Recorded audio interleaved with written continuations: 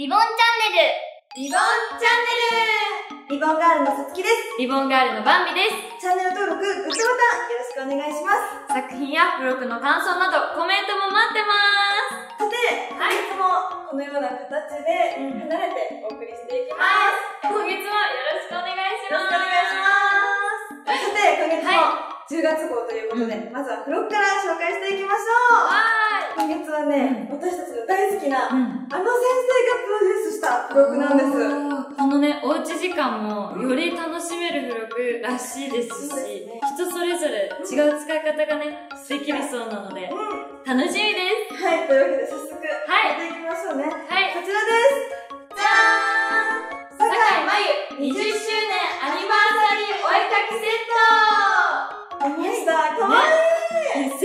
っただけでなんか盛りだくさんなんですけど。そうなんですよ、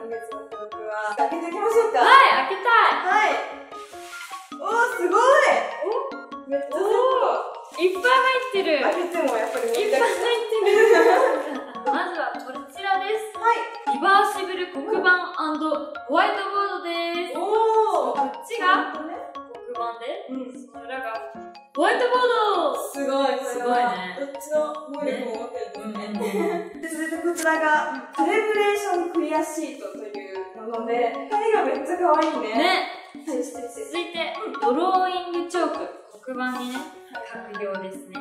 そして、消しゴム型黒板消し。ね、デザインも可愛いね。ね、そしてホワイトボード用のホワイトボードサインマーカーがあります。はい。盛りだくさんです盛りだくさんですね。まずやっぱり気になるのはこのボードですよボね。ードですよ。やっぱりさ、この黒板とかのプログって可愛いから使いたくなるけど、うんなんかさ、どうしてもうん最初は書いたりとかするんだけど、するする。置きっぱなしになっちゃうな。なる。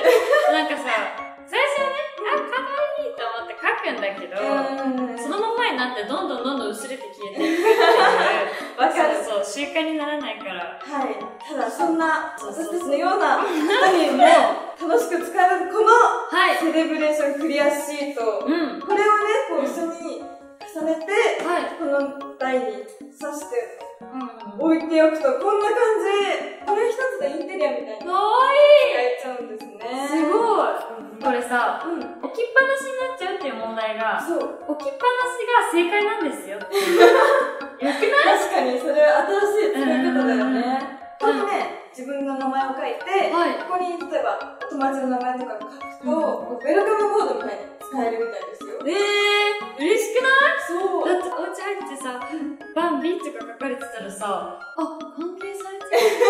だって、私のために書いてくれたんだちょっと嬉しくなります。ね、嬉しいよね。これ、パーティーとかにあったら、ね、確かに。盛り上がる感じ。インテリアに。になりそう。うんだけで。まあ、何よりもやっぱり、坂井真由先生の書き下ろしそうだねデザインが確かに。可愛くて。可愛いもん。そうそうそう。絵にも実は秘密があるんですよ。あ、やっぱり、そうなんですよ。これさ、ちょっとバン気づいちゃったんだけど、おここに隠れてるうんウサギ？はい。シガーソルジャーの？うん。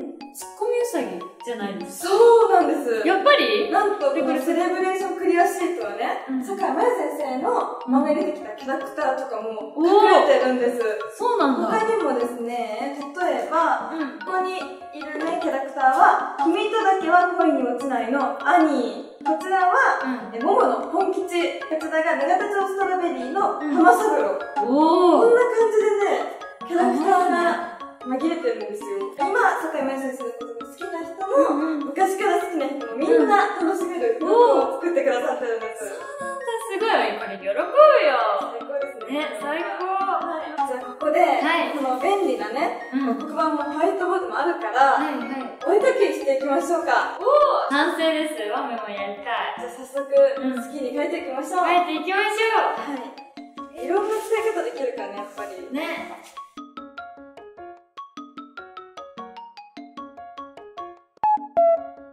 感じで、ウェルカムボードを作りました。ディアバンビということで、おこれ書いたので、いつでもお家にバンビが来ても いつでも行っお迎えできます。やった。やっぱこれ可愛いね、この黒板に書いたのに、さらにこのうんセレブレーションクリアシートを重ねると、お、すごいしっかり消える、この消しゴム型で。消していきます。お絵かきは本の本誌に、ちゃんとこの坂井真由先生のチョークイラスト大公開っていうページがあって、これをね、参考に書くこともできるので、ぜひぜひ皆さんも見てみてください。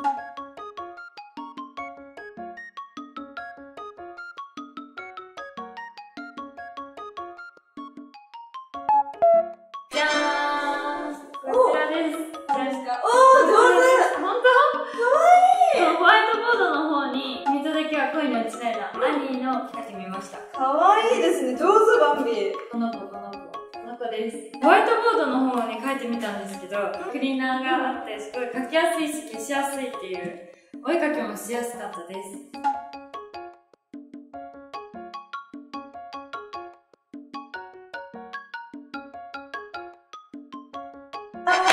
To Do リストを作ってみました。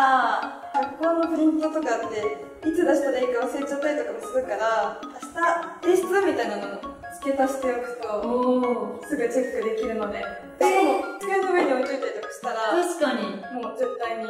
いい。チェックできるのポイント高い。ねえ、これついてるの。はい。来ました。じゃーん本吉です。お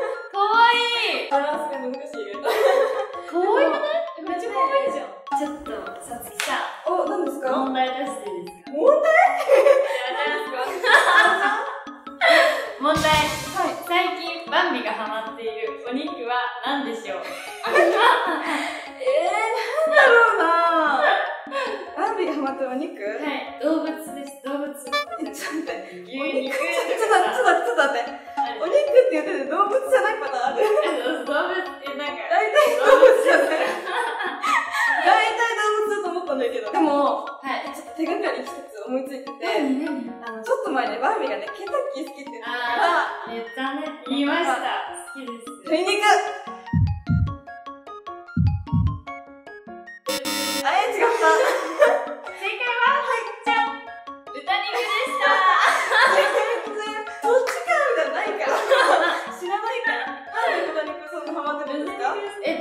肉、厚切りでプリプリってしてるのが美味しいのかないい問題でした。えすごくない？最近教えたから。そう。確かにそっか。両面だから、正解はこちらですっていう、なんか、番組方。みたいな。確かに。使い方、今いっぱい速攻で自分たちで考えてやってみたけど、たくさんありそうですね。だから私たちにも思いついてない新しい使い方とかね、確かに。あったら教えてほしいです。リボンチャンネ今月の30秒チャレンジまずは村田芽先生のハニーレモンソーダ14巻。なんとこちらをゲットしてもスペシャルボイスドラマが聞けます。海君は江口拓也さん福ちゃんは小沢ありさん大人気の声優さんたちのボイスドラマです。ゲットしてね。続いてバミ。はい。橋田奈々先生の記事で起こして1巻。今週でも大大大注目中大人気の1巻がやっと出ました。そして石川美先生の絶叫学級転生12巻。5つの怖いエピソードがあるので皆さんも一緒に震えましょう。現在発売中のリボンマスコットコミックス皆さんぜひチェックしてください。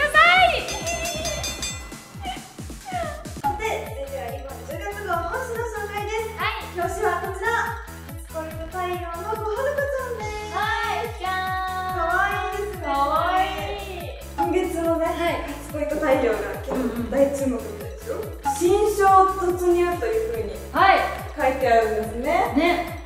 なんか聞いた話によると一条くんがうん。中学受験ですって。そうなんですよ。受験ってなるとまたちょっと関係とかうん。関わり方っていうの変わってきちゃうとはい。思うんですよね。今見てるね。うん。動画見てくださってる方も受験そうだね。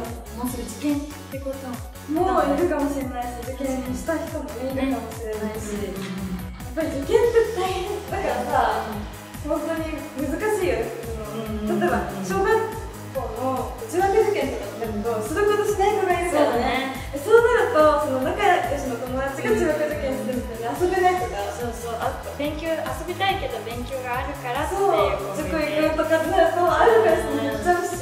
そうだね。それがこのはるかちゃんとそう。かの相手でもどうなってくんだろう、ね、なんかなんでかちょっぴり心にかかるモヤモヤ、こう春子の悩みの正体はっていうあの書かれてますよ。そっかそっか。新章突入ということで、はい。見てください。どうなっちゃうんでしょう。続いてキューバラですね今キューバラはちゃんとすごいこの絵可愛くない？えかわい。いめちゃくちゃ大人っぽい。すごいちょっとなんか。ドレスもね甘い吐息と指を絡めて。恋のロンドを踊りましょう。なんかすごい。10月号だね。ハロウィンだし。そうだそうだそうだね。そうだね。さあ続いていきましょう。はい。じゃーん。こちら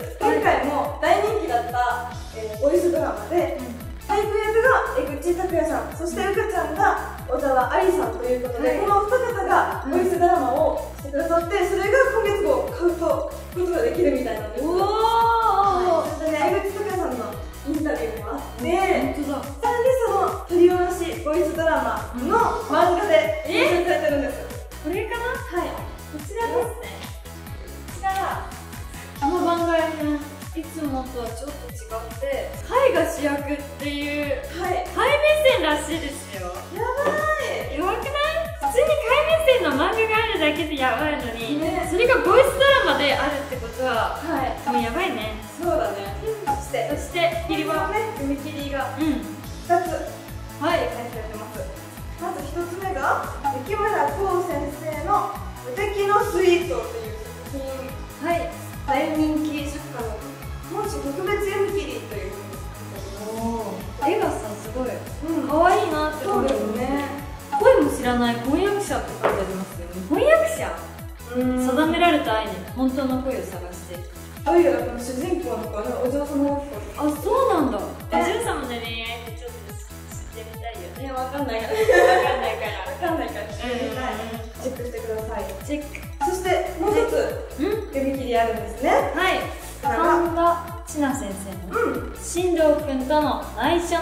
の関係はい。です。うん可愛いですね。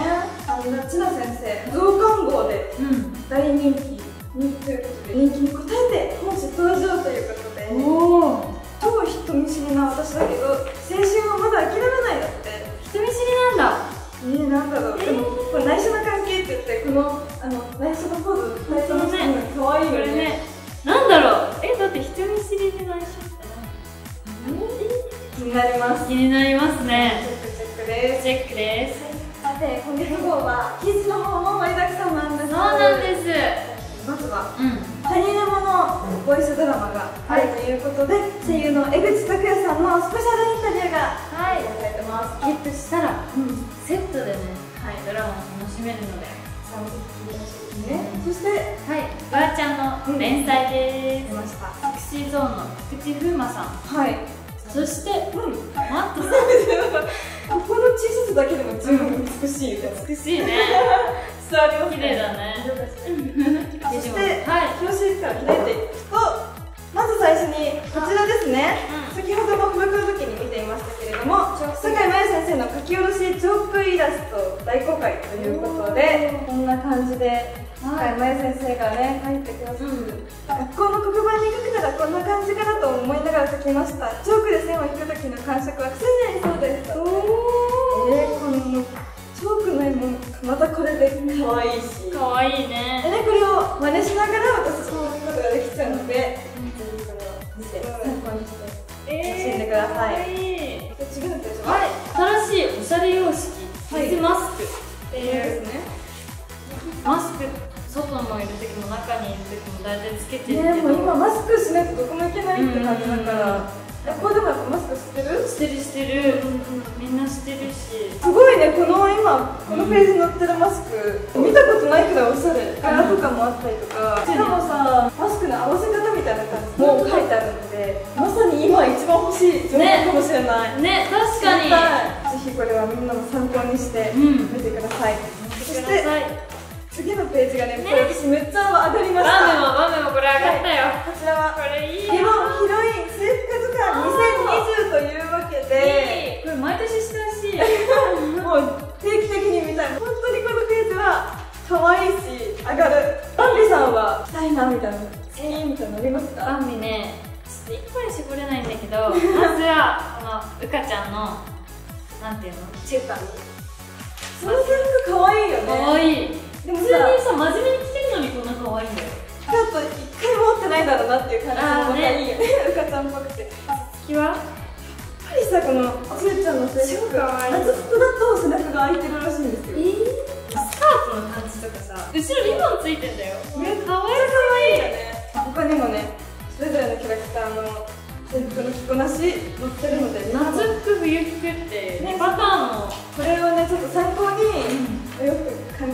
かもね。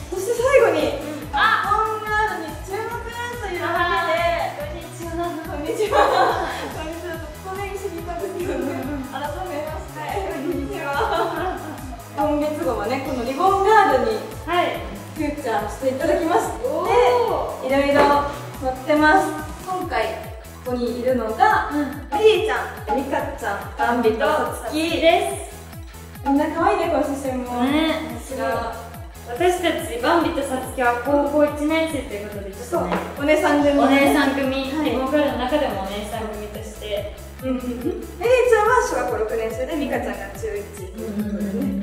これね、あの私たちのインタビューみたいな、ありますちょっとした質問に答えたりとか答ね。えてる思い出の撮影とかねそう、それもね、私なんかねこれちょっと笑え笑えちゃうぐらいなんですいやいや可愛い今高校本当に1年生なんですけど、5年くらい前の小学生の時の初めての撮影がヘアアレンジの撮影で、すごい覚えてる。かわいい初めてだったもん。あそうなんだめっちゃ楽しかった覚えがある。そしてなんかねうん。今月デビューのリボンガールボーイもいるみたいですよ出ました。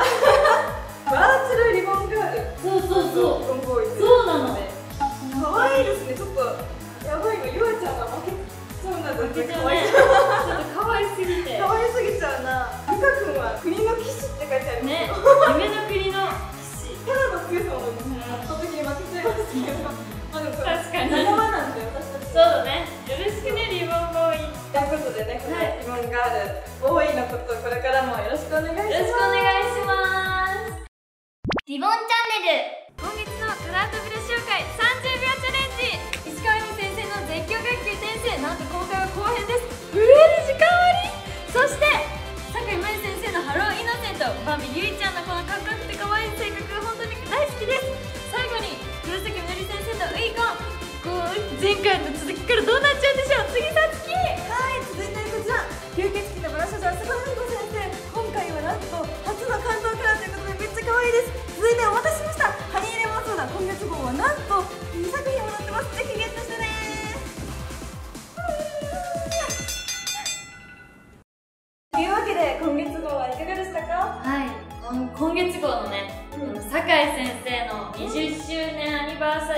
きセットの付録がやっぱ嬉しかったね。こんなたくさんセットだからさうん。盛りだくさんで。漫画家さんがリモートのために考えて作ってくれてるんだなっていうのがすごく嬉しいなって思って思いました。そして、そして、はい。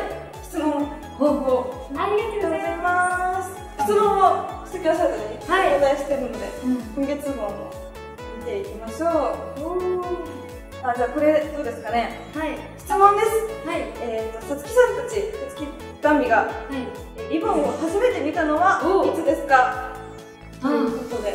なんかバンビは結構毎月買うっていうよりいろんな漫画をなんかちょくちょく買ってた感じだから小学1年生とかの時に超漫画がハマったのへなんか自分を若くするの楽しかったりしててあの上になんか写せるシートとかして、え表紙とか描いてたりしてて小学1年生の頃から「リボン」っていう漫画があるんだってのは知ってて、お友達のとこ読んだりとか自分でもなんか結構黒く目当てて買ってたりしてた、そして今も読んでます、そうですね。面白いし、私は小学校4年生ぐらいからリボンを買うようになって、あのねお母さんが昔リボンっ子だったっていうのがあってリボンを読んでたんだけど、でもそのちょっとあったからいから実際にそのリボンに出させてもらってでそれもあってもうずっとずっとリボンがあるしずっとリボンも読んでるしもちろん今もね楽しくいつまでもリボンっ子というはい。いつまでもリボンっ子です。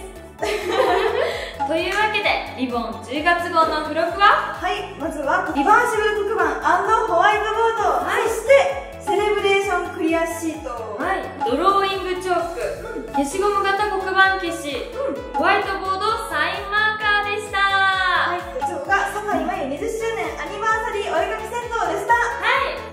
また来月お会いしましょう。